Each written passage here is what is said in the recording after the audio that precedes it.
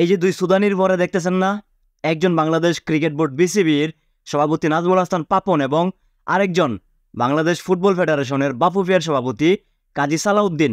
এই দুই সুদানির ফোয়া বাংলাদেশের ক্রিকেট এবং ফুটবলকে একদম ধ্বংস করে দিয়েছে ভাই।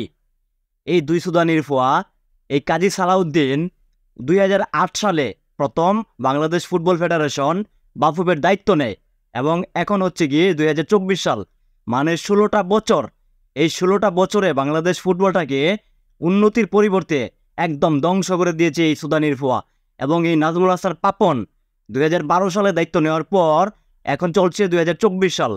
বারোটা বছর। এই বারোটা বছরে বাংলাদেশ ক্রিকেটকে একদম ধ্বংসের স্তূপ হিসেবে পরিণত করেছে এই সুদানির ফোয়া পাপন এবং কাজী সালাউদ্দিন। এই দুইটা এই দুইটা কালপ্রিট, এই দুই গোদা সামসু বাংলাদেশের ফুটবল এবং ক্রিকেটকে একদম ধ্বংস করে দিয়েছে। তাদের নিজেদের স্বার্থ হাসিল করার জন্য কারি কারি টাকা নিজেদের পকেটে ঢোকানোর জন্য বাংলাদেশ ফুটবল এবং ক্রিকেটকে ব্যবহার করে তারা নিজেদের সম্পত্তির পাহাড় গড়িয়েছে। কিন্তু এ দেশের, এই বাংলাদেশের ফুটবল এবং ক্রিকেটের কোনো উন্নতি তারা করেনি। ফুটবলের একটা পরিসংখ্যান বলি, উনিশশো ছিয়াশি সালে বাংলাদেশ ফিফা র্যাঙ্কিংয়ে ছিল একশো দশ নম্বরে। মানে চিন্তা করে দেখেন, একশো দশ নম্বরে ছিল বাংলাদেশ ফিফা র্যাঙ্কিংয়ে, যেটা যেই র্যাঙ্কিংটা বর্তমানে ইন্ডিয়ার থেকেও উপরে মানে ইন্ডিয়ার থেকে ভালো। সেই র্যাঙ্কিংয়ে ছিল বাংলাদেশ, আর এখন বাংলাদেশ ফিফা র্যাঙ্কিংয়ে একশো পঁচানব্বই। তার মানে এই সুদানির্ভর কাজী সালাউদ্দিন বাংলাদেশ ফুটবলের দায়িত্ব নেওয়ার পরে সে বাংলাদেশ ফুটবলটাকে কি করেছে আপনি চিন্তা করে দেখেন। এই সুদানির ফোয়ার বিরুদ্ধে বাংলাদেশ ফুটবলের ফেডারেশনের সভাপতি কাজী সালাউদ্দিনের বিরুদ্ধে কিন্তু মানে মাঠের মাঠের যে মানে ঘাস পরিষ্কার করার যে একটা মেশিন থাকে সেই মেশিন মানে বেচে খাওয়ার কিন্তু অভিযোগ রয়েছে। চিন্তা করে দেখেন একটা আহ, ঘাস পরিষ্কার করার মেশিন যদি সে বেচে খেতে পারে এই রূপটা যদি সে সামলাতে না পারে তাহলে এই যে ফুটবলের উন্নতির জন্য কোটি কোটি লক্ষ লক্ষ টাকা আসছে বস্তাভর্তি টাকা আসছে সেই টাকাগুলো যায় কোথায়?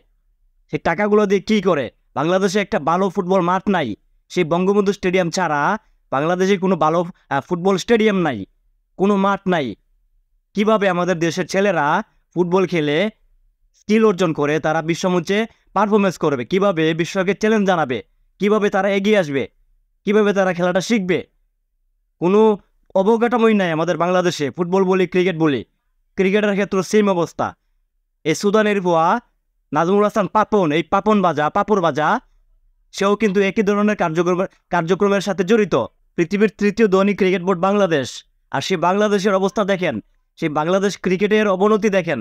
সেই বাংলাদেশ ক্রিকেটে এই বাংলাদেশে একটা ভালো স্টেডিয়াম নাই। এক এই মিরপুর ছাড়া মিরপুর ছাড়া বাংলাদেশে কোনো ভালো ক্রিকেট স্টেডিয়াম নাই।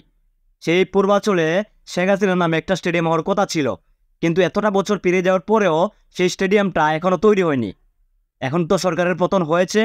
আগামীতে হবে কিনা সেটা কিন্তু মানে অনেক সন্দেহের ব্যাপার, অনেক প্রশ্নের বিষয় যে সেই স্টেডিয়ামটা আসলে কি তৈরি হবে কিনা। এই মিরপুর ছাড়া কোথাও মানে বাংলাদেশের খেলার কোনো জায়গা নাই। সিলেট একটা স্টেডিয়াম রয়েছে, তারপর খুলনা একটা স্টেডিয়াম রয়েছে, চট্টগ্রামে একটা স্টেডিয়াম রয়েছে। খুলনাতে তো খেলা হয় না। একমাত্র মিরপুর মিরপুর মিরপুর, মাঝে মধ্যে সিলেটে খেলা হয়, আবার মাঝে মধ্যে চট্টগ্রামে খেলা হয়। খুলনার স্টেডিয়ামকে একদম পরিত্যক্ত বানিয়ে ফেলেছে। নারায়ণগঞ্জের ফতুল্লাতে একটা স্টেডিয়াম রয়েছে, সেই স্টেডিয়ামকেও পরিত্যক্ত বানিয়ে ফেলেছে। সেই স্টেডিয়ামে কচুরিপানায় ভরা ময়লা আবর্জনা ঠাসা থাকে বছরের বারো মাস থেকে ছয়টা মাস পর্যন্ত। ছয়টা মাসি ময়লা আবর্জনায় টাসা থাকে, কিন্তু কোনো সংস্কার করা হয় না, কোনো পরিষ্কার করা হয় না, ঠিকঠাক করা হয় না। অথচ এই ক্রিকেট বোর্ডটা, বাংলাদেশ ক্রিকেট বোর্ডটা পৃথিবীর তৃতীয় ধনী ক্রিকেট বোর্ড। টাকার অভাব নাই। লক্ষ লক্ষ কোটি কোটি বস্তাভর্তি টাকা এই ক্রিকেট বোর্ডের। অথচ সেই টাকাগুলোকে তারা দেশের ক্রিকেটের উন্নতির জন্য কাজে লাগায় না। নিজেদের উন্নতির জন্য তারা কাজে লাগিয়েছে এতটা বছর। এই বারোটা বছর এই নাজমুল হাসান পাপন, এই সুদানির ফোয়া বারোটা বছর ক্ষমতায় থেকে তার ইচ্ছা মতো ক্রিকেট বোর্ডটাকে চালিয়েছে। দেশের কোনো উন্নতি করেনি, দেশের ক্রিকেটের কোনো উন্নতি সে করেনি। বাংলাদেশের ঘরোয়া ক্রিকেটের হালটা দেখেন। বাংলাদেশের ঘরোয়া ক্রিকেটে কোনো প্রতিযোগিতামূলক ক্রিকেট হয় না। সেখানে টাকার বিনিময়ে ক্রিকেটার বলি আম্পায়ার বলি ক্লাব বলি, সবাই কিন্তু ম্যাচ ছেড়ে দেয়। ম্যাচ ছেড়ে দেয় ইচ্ছাকৃতভাবে টাকার বিনিময়ে। এই দুর্নীতিগুলা এই দুর্নীতিগুলা কিন্তু শিখিয়েছে এই পাপন। এই দুর্নীতিগুলাকে প্রশ্রয় দিয়েছে এই পাপন সে নিজেই তো একটা দুর্নীতিবাজ। একটা দুর্নীতিগ্রস্ত ক্রিকেট বোর্ড হিসেবে বাংলাদেশকে পরিচিতি লাভ করেছে এই নাজমুল হাসান পাপন। তাদের বিরুদ্ধে অতীতে যারা প্রতিবাদ করেছে, তাদের বিরুদ্ধে যারা প্রতিবাদমূলক ভিডিও বানিয়েছে, তাদের মুখটাকে সেলাই করে দিয়েছে এই দুইজন। এই দুইজন তাদের মুখে তালা লাগিয়ে দিয়েছে। তাদেরকে হুমকি, দামকি, বিভিন্ন রাজনৈতিক ক্ষমতা খাটিয়ে, তাদেরকে হুমকি দেখিয়ে বয় দেখিয়ে তাদের মুখগুলো বন্ধ রেখেছে। এখন কোথায় গিয়েছো পাপন দাদা? এখন কোথায় গিয়েছ? কই? তুমি কই? কোথায় তুমি? তোমাকে তো খুঁজেই পাওয়া যাচ্ছে না। বিসিবি প্রেসিডেন্ট নাজমুল হাসান পাপন, তুমি কোথায়? দেশ ছেড়ে পালিয়েছো লেজ পালিয়েছো? দেশের তো অনেক ক্ষতি করেছ, অনেক কিছুই করেছ। কত ক্ষমতার বাহার দেখিয়েছিলে। এখন কোথায় তুমি? কাজী সালাউদ্দিন বাফুবের প্রেসিডেন্ট, তুমি সাবধান হয়ে যাও। এই নাজমুল হাসান পাপন, এই সুদানির পর বিরুদ্ধে যেভাবে জনতা রুখে দাঁড়িয়েছে, তার পদত্যাগের দাবিতে সবাই সোচ্চার হয়েছে, তোমাকে কিন্তু বাফুফের পদ থেকে নামাতে আমাদের বেশি সময় লাগবে না। তুমি সবাই আন্দোলনে নামার আগে, তোমার বিরুদ্ধে রুখে দাঁড়ানোর আগে তুমি মানে নিজের সম্মান বাঁচিয়ে পটটা ছেড়ে দাও। চেয়ার থেকে নেমে পড়ো। চেয়ার থেকে নেমে আল্লাহ বিল্লাহ করতে থাকো। তোমার আর কোনো কাজ নাই।